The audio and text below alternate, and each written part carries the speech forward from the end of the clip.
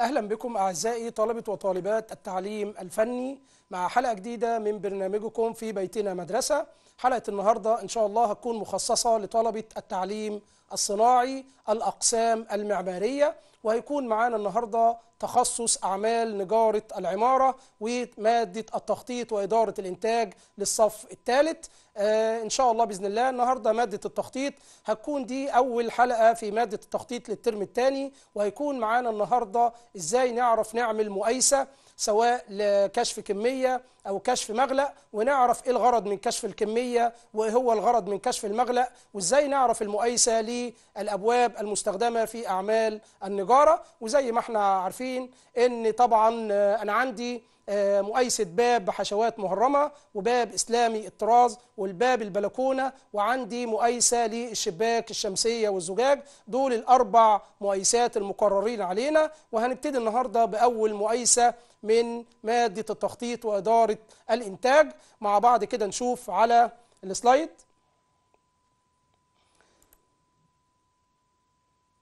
أول مقايسة طبعا هناخدها اللي هي باب بحشوات مهرمة طبعا باب خارجي ضلفة واحدة.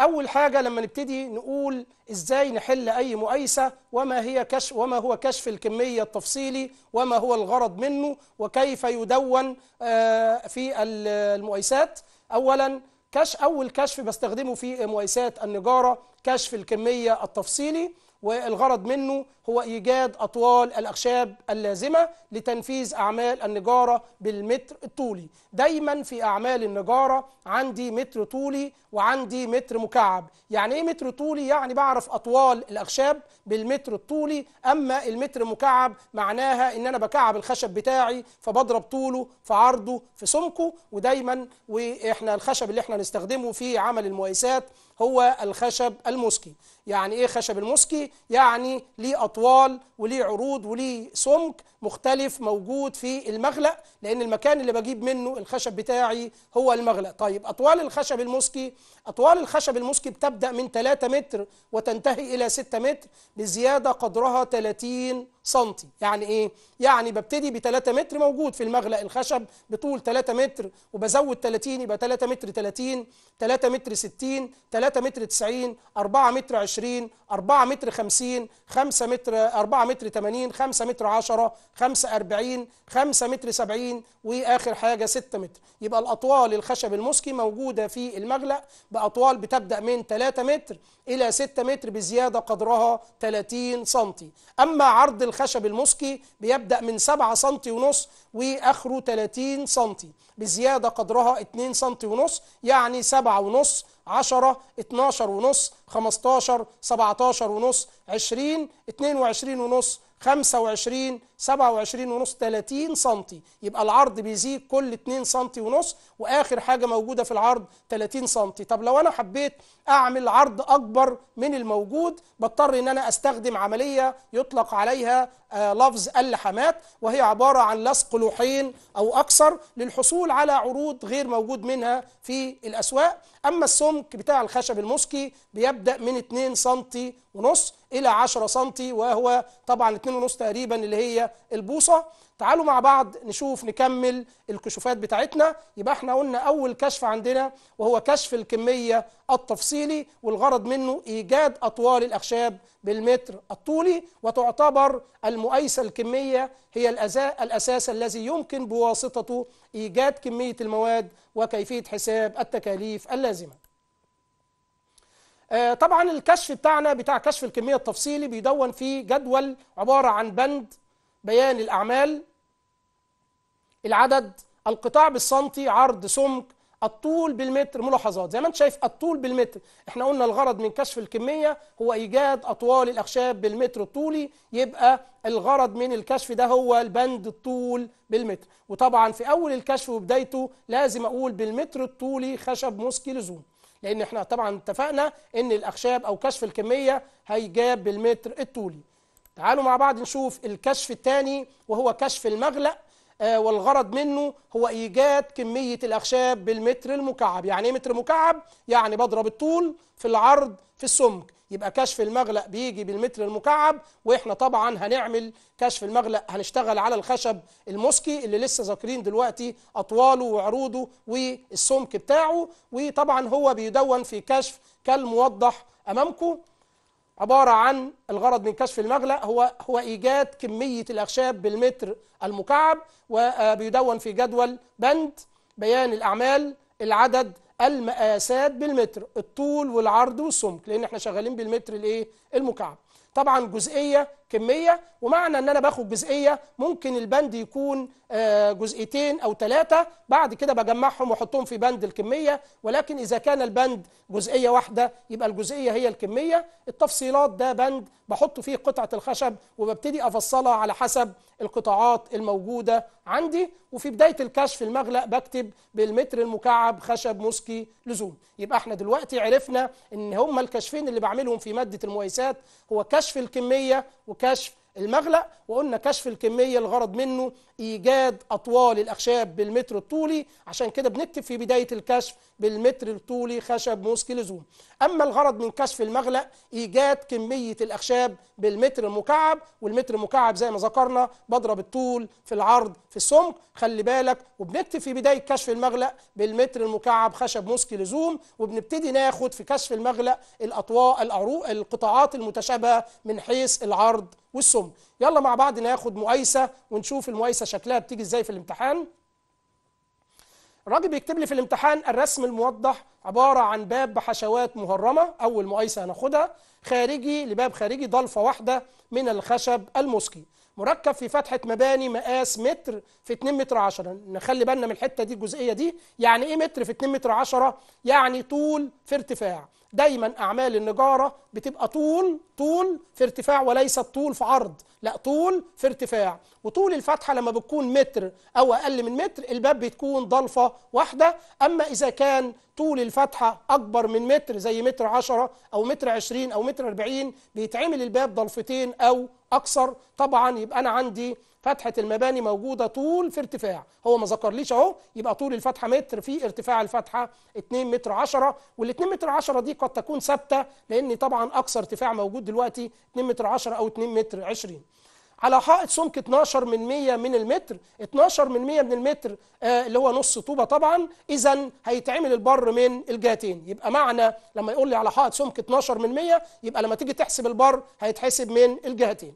طبعا مادة التكنولوجيا كانت مساعداني في كيفية معرفة قطاعات الأخشاب ومكونات الأخشاب وعرفنا كل ما يتعلق بنجارة الأبواب. إحنا بقى النهاردة إزاي نعمل مقايسة ونحسب كميات الخشب لباب بحشوات مهرمة. إيه المطلوب مني؟ المطلوب مني طبعا كشفين. أول كشف كمية تفصيل الأخشاب اللازمة لعدد باب واحد. أما الكشف الثاني كشف مغلق لعدد أربع أبواب وكشف المغلق زي ما أنت شايف العدد أربع أبواب يعني أنت هتعمل كشف كمية لباب واحد ولما تيجي تعمل تجيب كمية الخشب تجيبها الاربع أبواب من نفس النوع. يلا مع بعض نشوف آدي شكل الباب. تعال نذكر المكونات بتاعته. زي ما أنت شايفين آدي فتحة المباني طول الفتحة متر وارتفاع الفتحة 2 متر 10 تعال كده نوضحها. يبقى إحنا ادي طول الفتحة متر في ارتفاع الفتحة 2 متر 10 ومبين لي هنا القطاع الأفقي والقطاع الجانبي والمسقط الرأسي. تعال نذكر كده المكونات. أول حاجة عندي زي ما أنتم شايفين أدي قايم الحل عندي قايمين وعندي معبرة وأطلق لفظ معبرة بهذا الاسم لأنه بيتم العبور من خلالها. يبقى عندي أول حاجة في الحل أيمين ومعبرة معروف طبعا من مادة التكنولوجيا أن الحل من قطاع 15 في 5 سنتي. بعد كده عندي الضلفة مكونة من قائمين ورأس عليا وأخرى سفلى وتسمى تحلية أو تقفيصة والأوايم بتكون من قطاع 10 في 5 عندي أيمين لأن الباب ضلفة واحدة. والرأس العليا والرؤوس الوسطى بتكون 10 في 5 طبعا الرأس السفلى بتكون أعرض بتكون 20 في 5 القطاعات دي طبعا مذكورة في مادة التكنولوجيا اللي بتساعدني كتير في فهم مادة التخطيط وإدارة الإنتاج. بعد كده عندي هنا موجود بين آه الرؤوس وبعضها في عندي الصاري. والصاري هنا فايدته عندي خمس صواري أهو. واحد اتنين تلاتة أربعة خمسة. فايدة الصاري إن هو بيقسم لي إيه إلى حشوتين. المسافة دي الحشوتين مهرمتين. عشان كده أطلق على هذا الباب لفظ باب بحشوات مهرمة. نظرا لوجود حشوات على شكل هرم. وطبعا مهرمة من الجهتين مبين هنا في القطاع الجانبي إن إيه؟ مهرمة من الجهتين إيه الصهري بيكون من قطاع حوالي سبعة ونص أو قطاع 10 في 5 هنشوف دلوقتي قطاعات الاخشاب هل يا ترى هو مديني قطاعات الاخشاب ولا متروكه حسب أصول الصناعة؟ لو قال لي متروكه حسب أصول الصناعة يبقى ابتدي أعمل قطاعات الاخشاب اللي أنا اتعلمتها من مادة التكنولوجيا. تعالوا مع بعض كده نشوف بقية آدي قطاعات أهو مديني جدول قطاعات الاخشاب المستعملة بيديهولي في الامتحان. طبعا بند بيان الأعمال قطاع بالسنتي العرض والسمك ومديني ملاحظات لو في أي ملاحظات هنشوفها دلوقتي. أول حاجة بند واحد قوائم ومعبرة الحل من قطاع عرض 15 في 5 القوائم والرؤوس العليا والوسطى كما ذكرنا من قطاع عرض 10 في سمك 5 سنتي. بند ثلاثة الرأس السفلى طبعا بتكون أعرض لأن هي اللي بتشيل حمل الباب بتكون من عرض 20 في 5 الصاري أو الصواري الموجودة بين آه، الرؤوس وبعضها عشان تفصل لي ما بين حشوتين مهرمتين بتكون من عرض 7 ونص في 5 ولكن في الملاحظات قال لي تؤخذ من قطاع 15 في 5 دي هنستخدمها في كشف المغلق ومعناها إن بيقول لي إن العرض بتاعك هاته عرض 15 واقسم اللوح من العرض نصين عشان يبقى 7 ونص يعني آدي الملاحظة الموجودة وهنستخدمها في كشف المغلق. قوائم ومعبرة البر 7 ونص في سمك 2 سم ونص. أما الحشوات الراجل مش مديني عرضها محتاج أجيب العرض طبعا ومديني السمك 3 سم و8 مللي. هنبتدي نحل المقايسة أول حاجة كشف الكمية التفصيلي للأخشاب اللازمة لباب واحد. زي ما أنتم شايفين آدي شكل الجدول. بند بيان الأعمال. العدد القطاع عرض سمك. عين يعني عرض سين يعني سمك. الطول بالمتر ملاحظات بكتب الملاحظات بتاعتي اللي جبت منها الأطوال. طبعا أنا محتاج أجيب الطول لأن إحنا قلنا الغرض من كشف الكمية التفصيلي هو إيجاد أطوال الأخشاب بالمتر الطولي. تعالوا نشتغل أول بند بند واحد. هنقول طبعا في بداية الكشف بالمتر الطولي خشب مسك لزوم بند واحد لزوم قوايم الحل. بشتغل على جدول قطاعات الأخشاب اللي هو مدهوني أو بشتغل بالترتيب بالمكونات بتاعتي. أول حاجة في الحل القوايم طبعا القوايم موجودة في فتحة 2 متر 10 تعالوا مع بعض كده نشوف القوايم هتبقى كام. طيب نخلينا مع بعض كده وهوضحها لك برضو. طبعا هي القوايم موجودة في فتحة 2 متر 10 عشان أجيب القوايم أنا حابب أوضحها لكم. نجيب كده شريحة. ونحاول نوضح الجزئية دي مع بعض كده يا شباب. تمام؟ نجيب لون. تعالوا كده مع بعض. آدي عندي قايم الحلقة. هكبره كده عشان يبان. آدي قايم الحلق طبعا آدي فتحة المباني. وادي الأرضية بتاعتي أو البلاط بتاعي أهو. بالشكل ده. المسافة من أول هنا لحد الأرضية بتاعتي. دي 2 متر 10 أنا عايز أجيب طول قايم الحل وعندي الفراغ ده الخلوص اللي بسيبه 1 سنتي. طيب أنا عايز أجيب الطول طبعا هطرح من ال 2 متر 10 ل 1 سم الخلوص. يبقى القايم ده هيبقى كام؟ 2 متر كام؟ 2 متر 9 إذا قايم الحلقة هيبقى 2 متر كام؟ 9 طيب دايما في النجارة بنزود زيادات تشغيل. بنزود في القوايم ضفر وبيكون 5 سم وبنزود في الرؤوس والمعبرة تلسين بيكون 2 سم ونص. طبعا ده قايم يبقى هزود 5 من فوق ضفر و5 من تحت يبقى هزود على ال 2 متر 2 متر 9 2 في 5 مين من 100 لأن شغال بالمتر.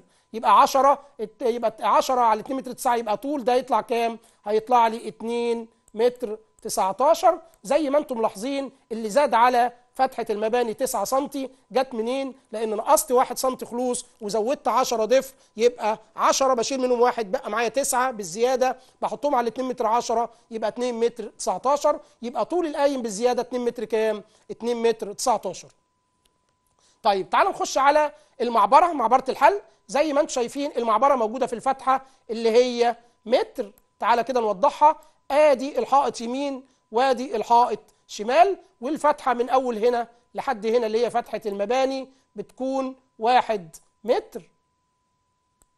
زي ما أنتم شايفين اهو آدي فتحة المباني متر. طبعا آدي فراغ واحد سنتي خلوص يمين وادي فراغ واحد سنتي خلوص شمال. طبعا هشيل من المتر واحد يمين واحد شمال هيديني معبرة كام؟ 98 ودي بنسميها فتحة نجارة. يبقى طول المعبرة بعد ما شلت الخلوص اليمين والخلوص الشمال. طيب الخلوص ده بشيله ليه؟ عشان لما أجي أوزن طبعا إحنا قلنا لازم الحلق يتوزن بميزان المية فلازم بسيب خلوص عشان أبتدي أحرك الحلق معايا يمين أو شمال أو لأعلى أو لأسفل. طبعا بشيل خلوص يمين 1 سم وخلوص شمال 1 سم يبقى فتحة النجارة اللي هي من الحلق للحلق بتكون 98 والمعبرة إحنا قلنا بنزود عليها آه زيادة تشغيل تسمى تلسين 2 في 2 ونص. معناها طبعا شغالين بالمتر يبقى 2 في 25 من 1000 يبقى 5 هنحطها على الاثنين على ال 98 هتديني متر وكام؟ متر و3 ولو لاحظت إن الزيادة بتاعتي 3 سم لأن فتحة المباني كانت متر. ليه؟ لأن زودت 5 سم تلسين 2.5 يمين و2.5 شمال ونقصت 2 سم خلوص. يبقى عندي 5 هشيل منهم خلوص 2 يتبقى معايا 3 بحطهم على المتر يبقى متر وكام؟ متر 3 يبقى أنا كده عرفت إن القوايم هتبقى 2 متر 19 بعد الزيادة بتاعتي أو الأطوال بتاعتها والمعبرة هتكون متر و3 من 10 تعالوا مع بعض كده نشوف. بالظبط كده أهو. وادي الطول هيبقى 2 متر كام؟ زي ما إحنا قلنا الغرض من كشف الكمية هو ايجاد اطوال الاخشاب بالمتر الطولي. يبقى طول قايم الحلق بالزيادة طلع كام؟ 2 متر 19 طيب ال 9 سم زيادة دي هنعمل فيها إيه؟ طبعا بعد ما بقفل الحلق بتاعي وبظبطه ببتدي اشيل الزيادات أو بقصب الزيادات بتاعتي من المقاس. تعال نشوف مع بعض جبنا إزاي 2 متر 19 بكتب ويفضل ان انت تكتب في الملاحظات بتاعتك الملاحظات اللي انت جبت بيها الطول. فأول حاجة فتحه المباني 2 متر كام؟ 2 متر 10 زي ما أنتم شايفين ادي فتحه المباني 2 متر 10 بشيل 1 سم خلوص من أعلى. وبزود 2 في 5 من 100 ضفر يبقى عندي 10 بشيل منهم واحد يبقى 9 9 ل 2 متر 10 يديني الطول بتاعي كام؟ 2 متر 19 أروح أكتبها في خانة الطول بالمتر. البند الثاني طبعا اللي هو معبرة الحلق زي ما أنتم شايفين بند رقم 2 معبرة الإيه؟ معبرة الحل وزي ما إحنا قلنا إن المعبرة موجودة في فتحة 1 متر. هشيل خلوص يمين وخلوص شمال وهزود تلسين 2.5 يمين و2.5 شمال. زي ما إحنا لسه رسمنا من شوية. هنبتدي نوضح الكلام دوت في الملاحظات. أيوه بالظبط كده. أدي فتحة المباني 1 متر. بشيل خلوص من الجهتين 1 سم فبحطها ما بين قوسين 2 في 1 من 100 1 من 100 لأن إحنا شغالين بالمتر ال1 سم يبقى 1 من 100 بعد كده بزود تلسين اللي هي زيادة تشغيل وإحنا قلنا بنزود التلسين في المعبرة والرؤوس الحاجة اللي موجود فيها لسان فبزود تلسين 2 سم ونص. تكتب 2 في 25 من 1000 جبتها إزاي؟ دايما بقسم أي حاجة 100 عشان يدهاني بالمتر آه بالمتر بتاعي. طبعا أدي خمسة بشيل منهم اتنين يتبقى تلاتة. تلاتة على المتر يديني متر وكام؟ متر وتلاتة. اذا آه المعبرة بتاعتي بالزيادة بتاعتي هتبقى متر وكام؟ متر وتلاتة. يبقى اذا أصبح قوايم الحلق بعد الزيادة 2 متر 19 وبزود في المعبرة آه 3 سم يبقى متر 3 يبقى اذا بزود في القوايم 9 سم وبزود في المعبرة 3 سم ودي بتكون ثابتة لأن طبعا أنا بزود ضفر في. في القوايم وبنقص 1 سم خلوص. بزود ضفر 10 وبنقص خلوص واحد يبقى معايا 9 بحطها على فتحة المباني. زي ما انت شايف يديني 2 متر 19 أما المعبرة بزود تلسين 2 سم ونص يمين و2 ونص شمال يبقى زودت 5 وبنقص منهم خلوص 2 يبقى معايا 3 بالزيادة. بحطها على فتحة المباني. يعني لو فتحة المباني طول الفتحة كانت 90 تبقى اذا طول المعبرة بالزيادة 93 وطبعا الفتحة عندنا متر فأصبحت متر وكام؟ متر و3 تعالوا نشوف البند اللي بعديه. البند رقم ثلاثة أنا بشتغل على ترتيب قطاعات الأخشاب أو جدول قطاعات الأخشاب اللي هو مدهوني في بداية مع مع المسألة بتاعتي أو مع ورقة الامتحان. تعالوا نشوف مع بعض البند رقم ثلاثة قوائم الضلفة. طبعا عندي أيمين لأن الباب ضلفة واحدة. لو كان عندي الباب ضلفتين هيبقى اتنين يمين واتنين شمال يبقى العدد أربعة لكن الباب الموجود معايا ضلفة واحدة إذا العدد بيكون اتنين. العرض طبعا عشرة في خمسة مدوني في جدول قطاعات الأخشاب. تعالوا مع بعض نشوف الملاحظات بتاعتنا وبرضه نرسمها نحاول نرسمها تاني مع بعض. نجيب شاشة اهيت ونبتدي نجيب لون معانا. تعال نجيب المرة دي لون مختلف لون اسود ونشوف مع بعض. آدي قايم الضلفة. آدي يا جماعة قايم الضلفة. آدي قايم الضلفة. وآدي الأرض أو البلاط بتاعي شايفين الفراغ اللي ما بين قايم الضلفة والأرض ده؟ ده بسميه واحد سنتي وبيكون خلوص من أسفل عشان الباب يفتح ويقفل. لو أنا ما سبتش الواحد سنتي الخلوص الباب ممكن في أثناء الفتح والقفل آه، بيبتدي يبقى محتك مع البلاط فطبعا مش هيفتح ويقفل بسهولة وهيبقى صعب في عملية الفتح والغلق. عشان كده بسيب خلوص من أسفل قدره واحد سنتي طبعا عندي بعد كده في هنا سمك المعبرة فوق قايم الضل في سمك المعبرة بعد عمل الإفريز. طبعا سمك المعبرة بيكون خمسة بشيل منها واحد سنتي إفريز يبقى أربعة سنتي يبقى سمك المعبره 4 سم وادي الحائط بتاعي وادي الخلوص اللي كان موجود معايا قبل كده. زي ما أنتم شايفين والمسافة من أول هنا لحد البلاط.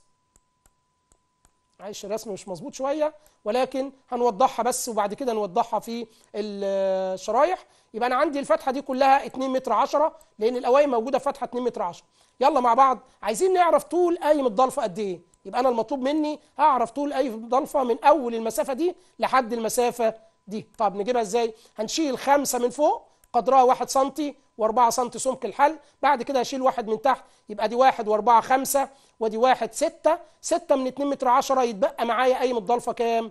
2 متر وكام؟ و4 سنتي.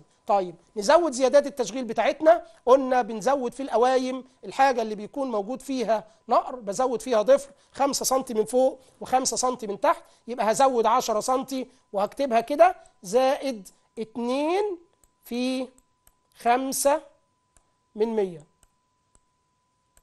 يبقى أنا زودت 10 على 2 متر 4 يديني 2 متر كام؟ يبقى طول قايم الضلفة 2 متر كام؟ 14 جبتها منين؟ بشيل 1 سم خلوص من أعلى بشيل سمك المعبرة بعد عمل الافريز 4 سم بشيل 1 سم خلوص من أسفل يديني 1 و4 5 ودي 1 6 بطرحها من ال 2 متر 10 اللي هي طول الفتحة بيديني أو ارتفاع الفتحة بيديني 2 متر 4 بزود عليها الضفر اللي إحنا بنزوده في القوايم يبقى 2 متر كام؟ 14 تعال نخش مع بعض على الراس العليا بالمرة نوضحها. آدي عندي الراس العليا زي ما أنتم شايفين أهي. عايز برضو أعرف طولها. ببتدي طبعا أرسم آدي قايم الحل سمكه بعد عمل الإفريز أربعة. وادي قايم الحلق شمال سمك بعد عمل الإفريز أربعة. وبشيل وادي الحيطة يمين وادي الفراغ اللي إحنا بنشيله اللي هو واحد سنتي خلوص يمين وادي واحد سنتي خلوص شمال. وطبعا المسافة من أول هنا لحد هنا. كام؟ واحد متر اللي هي اللي هي طول الفتحة يلا بينا نكتبها. ادي واحد متر. تمام؟ عشان اعرف الرأس العليا قد إيه هشيل و- الخمسة سنتي اليمين واشيل الخمسة سنتي الشمال. يبقى كده قدرها كام؟ 10 10 من المتر يتبقى كام؟ 90 يبقى طول الرأس العليا كام؟ 90 الراس ديت بزود عليها تلسين. هزود 2 في 2 ونص واكتبها داخل قوسين معناها 2 في 2 ونص معناها 2 في 25 من 1000 يبقى خمسة وادي تسعين يبقى طول الراس العليا كام؟ خمسة وتسعين من مية من المتر. تعال نشوف مع بعض كده. نوضحها كده مع بعض. زي ما أنتم شايفين. آدي بند القوايم العدد اتنين. عرض عشرة في سمك خمسة عايز أجيب الطول بالمتر.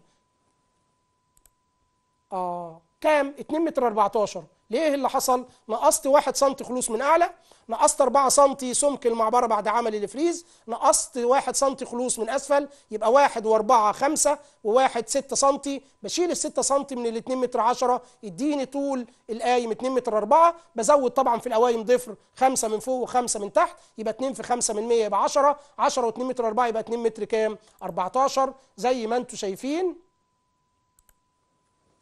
يبقى فتحه آه هنا اداني بقى اللي هنا ذكرت هنا فتحة نجارة ليه؟ لأن أنا شلت الخلوص الواحد سم فأصبحت الفتحة 2 متر 10 بشيل 1 سم خلوص من أعلى اللي هو الخلوص يبقى 2 متر 9 ويطلق عليها فتحة نجارة يبقى فتحة المباني من من بداية البلاط لحد. العتب أما فتحة النجارة من بداية البلاط لحد مين؟ لحد أول الحل اللي هي بنشيل 1 سم خلوص فأصبحت فتحة النجارة 2 متر 9 بنقص سمك الحلق بعد عمل فريز 4 سم بنقص 1 سم خلوص من أسفل. واتفقنا إن إحنا هنكتب البيانات بتاعتنا دي موجودة في الحل أو في بند الملاحظات. بعد كده بزود الضفر 2 في 5 من 100 طبعا يطلع لي طول القايم 2 متر كام؟ 14 البند اللي بعد كده الرؤوس العليا والوسطى. طيب هل يا ترى ناخد الرؤوس العليا والوسطى مع بعض؟ أيوه ناخدهم مع بعض لأن هم قطاع واحد.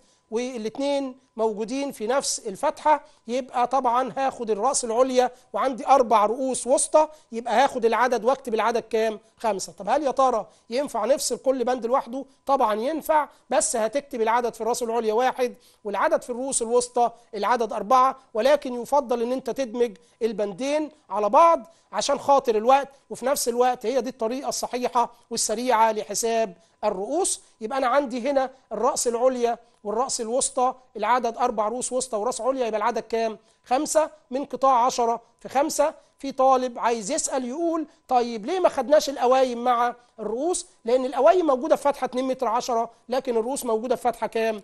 آه واحد متر كمان بزود في القوايم اللي فيها النقر بزود فيها ضفر بيكون 5 سم أما في الرؤوس بزود تلسين 2 سم ونص يبقى ما ينفعش أضم الاثنين على بعض تعالوا مع بعض نشوف كده الرؤوس. طبعا إحنا طلعنا الرؤوس 5 سم ليه 5 سم لأن نقصنا 1 سم خلوص يمين 1 سم خلوص شمال. يبقى نقصت 2 سم بالناقص من المتر وزودت تلسين 2.5 يمين و2.5 شمال. يبقى أنا زودت 5 سم آه تلسين ونقصت من الخمسة 2 سم اللي هو الخلوص. يبقى أنا عندي بالزيادة 3 وأنا عندي الفتحة كام؟ عندي الفتحة كام؟ متر. طبعا بشيل آه بشيل سمك الحلق يمين وسمك الحلق شمال يبقى أنا نقصت 8 و2 خلوص يبقى نقصت 10 وزودت 5 يبقى أنا محتاج أشيل من الفتحة الأساسية 5 يبقى يديني كام؟ 95 طبعا فتحة النجارة هتبقى 98 عشان شلت الخلوص اليمين والخلوص الشمال. بعد كده بزود سمك الحلق بنقص سمك الحلق يمين وسمك الحلق شمال. 4 سم يمين و4 سم شمال يبقى 8 8 من ال 98 يديني 90 وبعد كده هزود التلسين 2 في 25 من 1000 يبقى 95 يبقى إذا طول الراس العليا والوسطى الرؤوس كلها تبقى كام؟ 95 زي ما أنتم شايفين. ندخل على البند رقم خمسة الرأس السفلى. والصواري. البند رقم خمسة الرأس السفلى. طيب هنا في سؤال مهم. ليه ما خدناش الرأس السفلى مع الرؤوس العليا والوسطى؟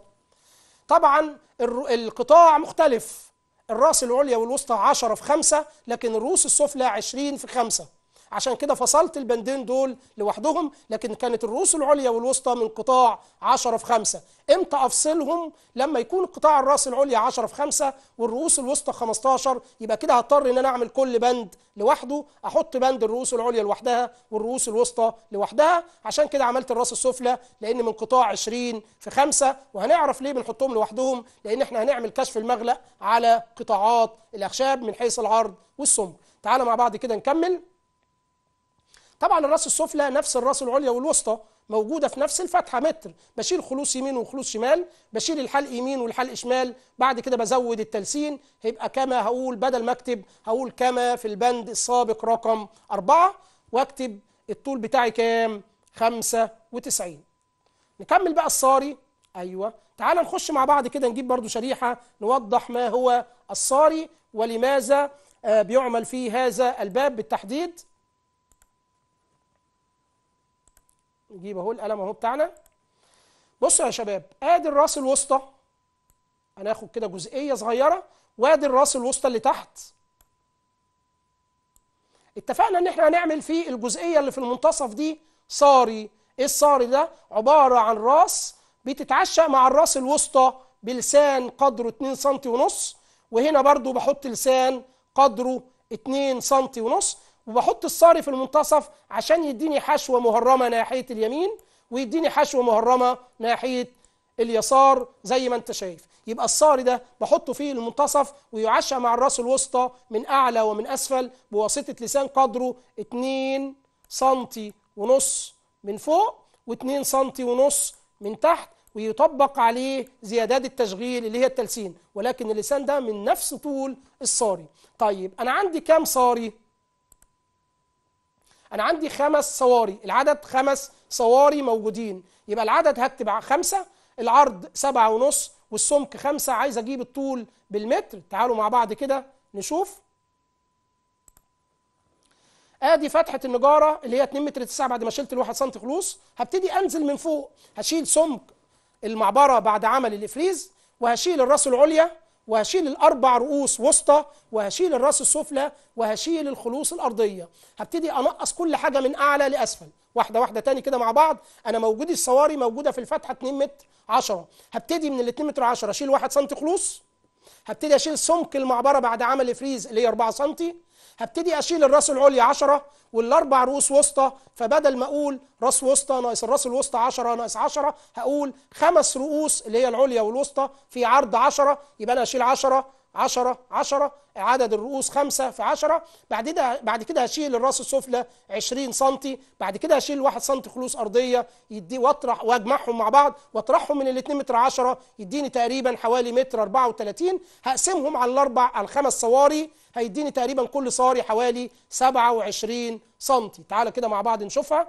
آدي فتحة النجارة أصبحت 2 متر 9 بعد ما شلت الواحد سم خلوص أصبحت فتحة نجارة.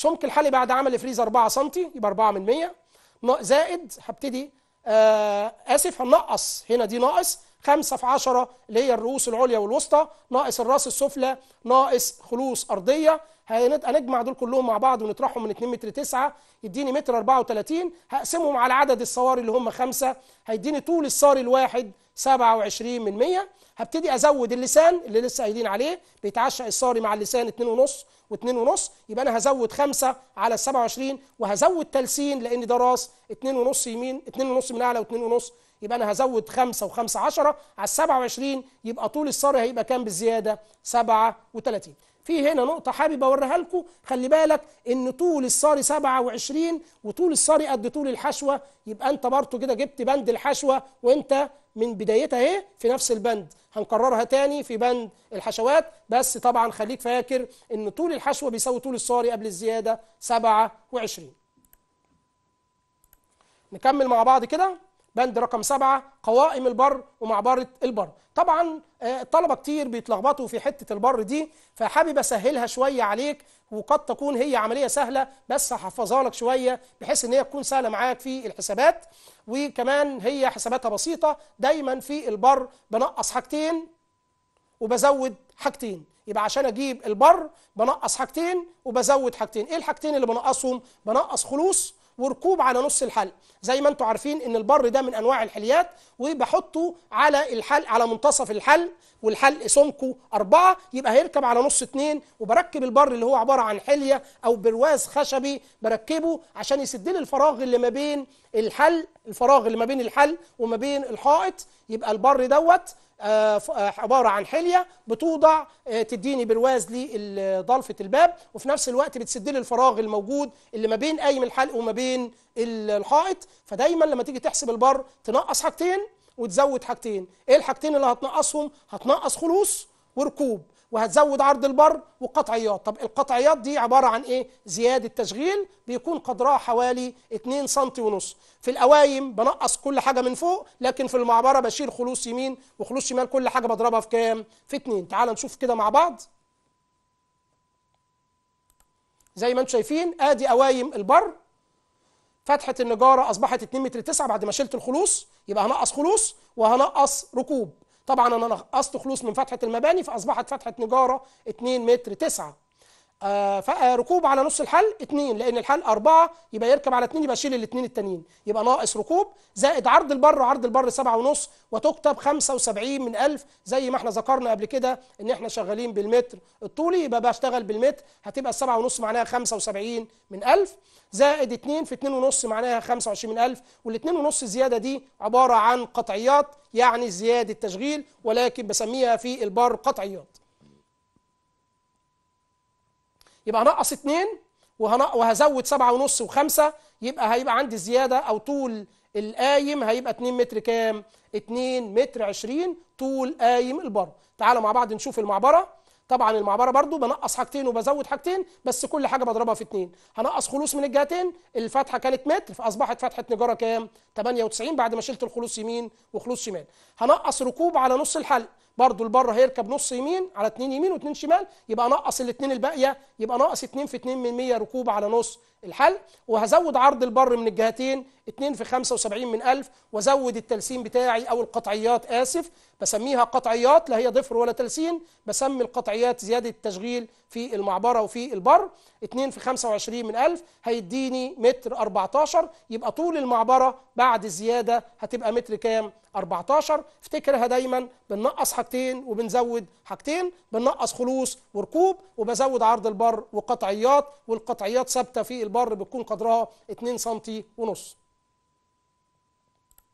تعالى مع بعض كده نكمل بند رقم تسعة أهم بند طبعا في المقايسة لأن بقية البنود التانية بتكون شبيهة للمقايسات كلها لكن بند الحشوات ده البند المختلف وهو ده البند اللي بيكون فيه درجات أعلى أو الدرجة المميزة للطالب لأن معظم الطلبة بيسيبوا الحشوات. مع العلم أن أنت جبت بند الحشوات طول الحشوة أثناء ما أنت بتجيب طول الصاري.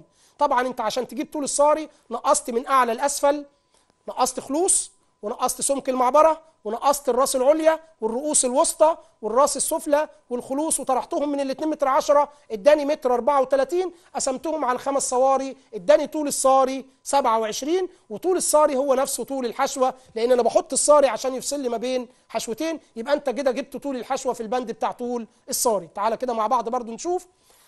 بلاحظ هنا دايما إن هو طبعا العرض والسمك مجهول. يبقى أنا عندي هنا العدد 10 لأن هم 10 خمسة يمين وخمسة شمال. السمك 3 و8 مدهوني ولكن العرض والطول مجهول. كان دايما الطول بيبقى مجهول. هنا أنا محتاج أجيب طول وعرض. بس نتذكر إن العرض الخشب المسكي 7.5 ل 30 سم بزيادة قدرها 2 سم ونص. نبتدي مع بعض كده نشوف. بند الحشوات. عايز أجيب طول الحشوة أو ارتفاع الحشوة اللي موجودة في في فتحة 2 متر 10 وعايز أجيب عرض الحشوة اللي موجودة في فتحة متر. هنبتدي واحدة مع بعض كده. 2 متر 10 بنقص خلوص زي الصاري بالظبط. بنقص سمك المعبرة بعد عمل الفريز بنقص الخمس رؤوس العليا والوسطى في 10 بنقص الراس السفلى 20 بنقص خلوص أرضية بنقصهم من ال 2 متر 10 يديني متر 34 بقسمهم على الخمس حشوات بيديني 27 من 100 نفس طول الصاري ولكن في الحشوة بزود مفحار وتقصيب. الحشوة عشان تركبها بزود لها 1 سم مفحار و1 سم زيادة تشغيل بسميه تقصيب. يبقى بزود 4 على 27 يديني طول الفتحة كا طول الحشوة كام؟ 31 طيب عايز أجيب عرض الحشوة. العرض موجود في الفتحة المتر. هنبتدي نشيل خلوص يمين وخلوص شمال يبقى 2 سم خلوص من الجهتين. ناقص سمك قايم الحلق بعد عمل فريز يمين وسمك قايم الحلق شمال يبقى 2 في 4 من 100 بنقص عرض القايم يمين وعرض القايم شمال. بعد كده هشيل الصاري بشيل كل حاجة ما بينهم لحد ما اوصل لعرض الحشوة. وعندي هيبقى حشوتين يبقى بعد ما اوصل للعرض اقسمهم على الاثنين يدوني عرض الحشوة الواحدة. تعالى كده مع بعض. هيديني هنا كام؟ 62 ونص بعد ما طرحت الخلوص. وسمك الحلق بعد عمل الفريز وقايم الضلفة يمين وشمال ونقص عرض الصاري اداني طول الحشوتين على بعض عرض الحشوتين على بعض 62 سم هقسمهم على الاثنين يديني 31 بعد كده هزود المفحار والتقصيب فأصبح العرض كام؟ 35 وطبعا أنا ما عنديش عرض 35 يا شباب فلازم أنا أخلي بالي من الحتة دي. ما فيش عندي عرض 35 طب هنعمل إيه؟ هوريك دلوقتي هنعمل إيه؟ ركز بس كده معايا. أنا جبت طبعا آدي الحشوة الواحدة. آدي طول الحشوة وادي عرض الحشوة طبعا هي حشوة مهرمة. أنا جبت طول الحشوة أو ارتفاع الحشوة كام؟ 31 مفيش أي مشكلة في الطول. معلش. 31 أما العرض الحشوة طلع عندي كام؟ 35 وأنا ما عنديش عرض 35 هعمل إيه؟ هضطر إن أنا أطبق عملية اللحمات ذكرنا قبل كده في حالة الحصول على عرض غير موجود في الخشب المسكي ببتدي أبتدي ألصق أو ألزق لوحين جنب بعض أو أكتر للحصول على عرض غير موجود في السوق واللي موجود في السوق العرض العرض بتاعه بيكون الخشب المسكي من 7 سم ونص ل 30 سم لكن هنا العرض هنا 35 يبقى هضطر إن أنا أعمل إيه؟ هبتدي أقسم العرض ده نصين وأقسمهم عرض 17 ونص و17 ونص. زي ما أنتم شايفين. يبقى اذا الحشوة الواحدة مش هتكون حتة واحدة أمال هتكون كام كام لوح؟ عبارة عن لوحين بجنب بعضهم واتلزقوا مع بعضهم أو اتلصقوا عن طريق اللحامات سواء كان لحام بزدابة أو آه، ذكر وانتهى زي ما إحنا بنقول أو بكوايل أو أي لحا أو أي نوع من اللحامات. ولكن إحنا بنستخدم دايما اللحام اللي هو بزدابة. فالعرض هيبقى 17 ونص. نرجع تاني نشوف في الشرايح بتاعتنا. آه العرض هكتبه 17 ونص. ولكن هضرب هنا في 2 هضرب هنا في كام؟ في 2 يبقى يبقى العدد مش هيبقى 10 حشوات ولكن هيبقوا العشرة مقسومين. كل واحدة مقسومة اتنين فيبقى 10 يمين و10 شمال. يبقى أنا هضرب في اتنين عشان أقول له إن العرض الحشوة ليست حشو عرض واحد ولكن هم اتنين. وعملت العرض الأساسي بتاعي اللي هو كام؟ اللي موجود 17 ونص. طبعا هنا هنبتدي نعمل كشف المغلق. وكشف المغلق زي ما أنتم عارفين إحنا بنجيب الخشب بتاعنا من المغلق وليه أطوال وليه عرض وليه سمك.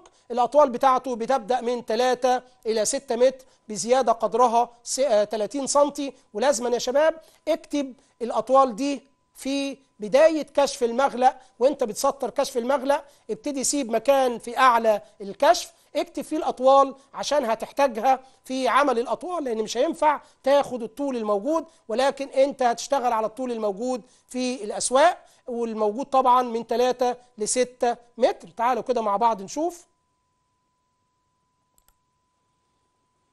تمام؟ ادي كشف المغلق. وقلنا إن كشف المغلق الغرض منه إيجاد كمية الأخشاب. يبقى أنت عملت إحنا خلصنا كشف الكمية يبقى هنبتدي نشتغل على كشف المغلق من كشف الكمية.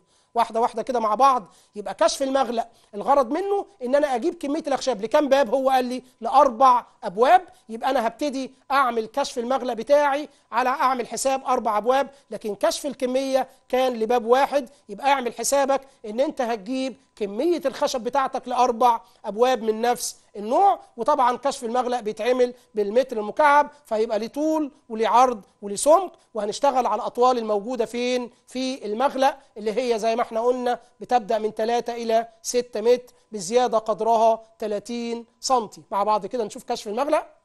كشف المغلق لعدد أربع أبواب من نفس النوع.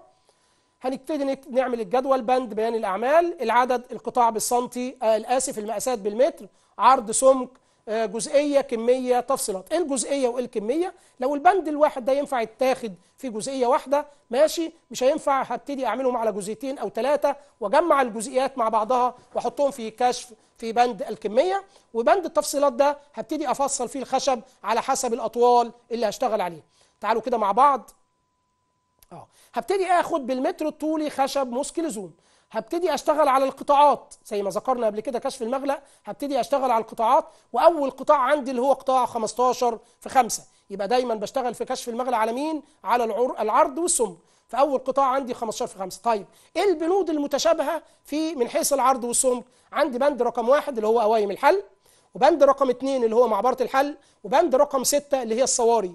طب الصواري دي كان قال لي تؤخذ من قطاع سبعة و- آه، من 15 في 5 هي كانت سبعة ونص. قال لي لا هتاخدها من قطاع 15 في 5 وانت بتجيب الخشب بتاعك هات العرض 15 في 5 يبقى أنا هشتغل معاه إن هي من قطاع 15 في إيه؟ في 5 ولما أجيب الخشب هبتدي أقسمه من العرض نصين عشان أشتغل على السبعة ونص اللي هو طو عرض مين؟ عرض الصواري. يلا كده مع بعض نشوف.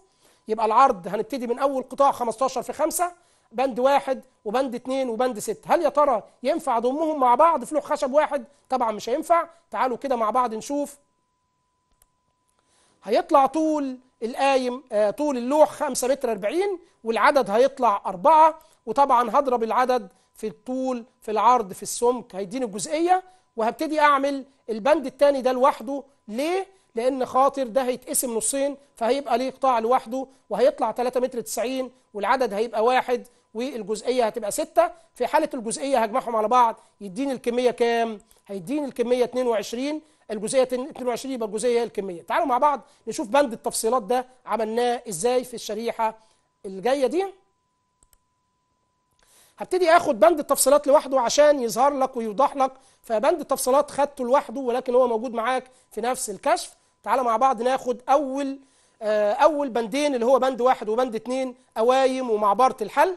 طبعا القوايم العدد اتنين وطلع طول كل قايم كام؟ 2 متر 19 فهكتب كده إما فوق أو في داخل اللوح الخشب بعمل لوح خشب الفرق ما بينه نص سنتي وابتدي أقسم اللوح كأن ده لوح خشب يعني وأقسمه إلى حتتين اللي هي قايمين وواحدة معبرة. طول القايم 2 متر 19 يبقى عندي قايمين 2 متر 19 2 متر 19 والمعبرة طولها كام؟ متر 3 طبعا لما نيجي نجمعهم نجمع بقى ال 2 متر 19 زائد ال 2 متر 19 زائد المتر 3 هيديني 5 متر واحد واربعين. طبعا اللوح ده بتاع باب واحد وأنا محتاج أعمل أربع أبواب. يبقى أنا محتاج أجيب أربع ألواح خشب من نفس الإيه؟ الطول. ولكن مش موجود 5 متر 41 الموجود 5 متر 40 طبعا أنا مزود زيادات تشغيل معايا كتير فيبقى هجيب اللوح العرض الطول 5 متر كام؟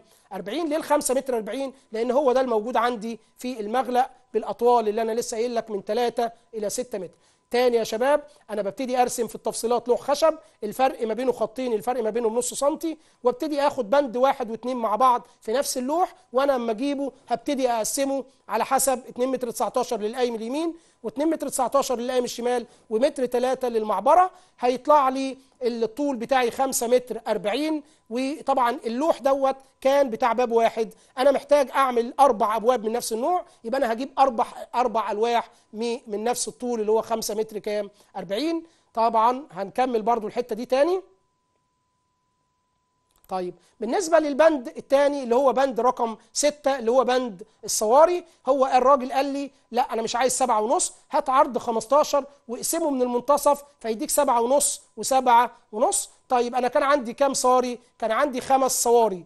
عندي خمس صواري طول الصاري تقريبا طلع حوالي 27 سنتي. فهبتدي آخد آدي خمسة للباب الأولاني وادي خمسة يبقى كده اتنين وطبعا زيهم اتنين تحت. اذا اللوح ده هيعمل أربع أبواب. يبقى اللوح ده هيكفي أربع أبواب للصواري. يبقى أنا محتاج أجيب كام لوح؟ محتاج أجيب لوح واحد لأن اللوح ده هيعمل كام باب؟ هيعمل أربع أبواب وأنا محتاج أعمل آه، صواري للأربع أبواب. زي ما أنت شايف كده. تعالوا مع بعض كده نشوف. آه، طبعا هم عشرة. أنا بدل ما آخد خمسة خدت كام؟ خدت عشرة وقسمت العشرة نصين فأصبح عندي عشرين. وكل باب محتاج خمس صواري يبقى أنا عندي خمسة وخمسة وخمسة وخمسة يبقى أنا محتاج يبقى أنا محتاج لوح واحد وأقسمه بالطريقة اللي أنت شفتها دلوقتي فيديني 10 في ال 37 طول الصاري يعمل 3 متر 70 وأنا مش موجود عندي في المغلق 3 متر 70 فباخد دايما بالزيادة إيه اللي بعد ال 3 متر 70 اللي موجود في المغلق؟ 3 متر 90 نرجع تاني يبقى خلي بالك أنا هنا طلع الطول عندي كام؟ 5 متر 40 والعدد كام؟ أربع ألواح. أما البند الثاني اللي هو الصواري عندي العدد هيبقى واحد والطول هيطلع 3 متر كام؟ 90 نرجع تاني لبداية الكشف. زي ما انت شايف العدد هنا في الأواي بند واحد وبند اثنين هيبقى العدد أربع ألواح طوله طوله 5 متر 40 وزي انت ما انت شايف العرض 15 من 100 في 5 من 100 عشان أجيب الجزئية بضرب العدد في الطول في العرض في السمك يديني الجزئيه اللي هي 16 من 100 باخد رقمين عشريين طيب بند رقم 6 قلنا العدد واحد والطول طلع 3 متر 90 هو ده الموجود عندي في المغلق. و15 في 5 بضرب الواحد في ال 3 متر 90 في ال 15 من 100 في ال 5 من 100 يديني 6 من 100 آه متر مكعب. هبتدي أجمع الجزئيتين هيديني 22 من 122 سم يبقى اذا كمية البند قطاع 15 في 5 اتعملت 22 سنتي. نبتدي نروح على القطاعات اللي بعد كده. طبعا القطاع اللي بعد كده قطاع 10 في 5 برضو عندي بندين قطاع 10 في 5 اللي هو بند القوايم والرؤوس. طبعا عندي القوايم 2 بطول 2 متر 14 أما الرؤوس عندي خمس رؤوس اللي هي عليا وأربعة وسطى يبقى عندي خمس رؤوس طول الرأس 95 لأن بشتغل طبعا على الطول والعدد. هبتدي آخد طبعا كل بند لوحده ولكن في بند لوحده كل جزئية لوحدها. تعال نشوف مع بعض هو قال لي العدد هيبقى أربعة الطول هيبقى 4 متر 50 والعرض 10 السمك 5 تعال نشوف مع بعض جاب الكلام ده إزاي في بند التفصيلات.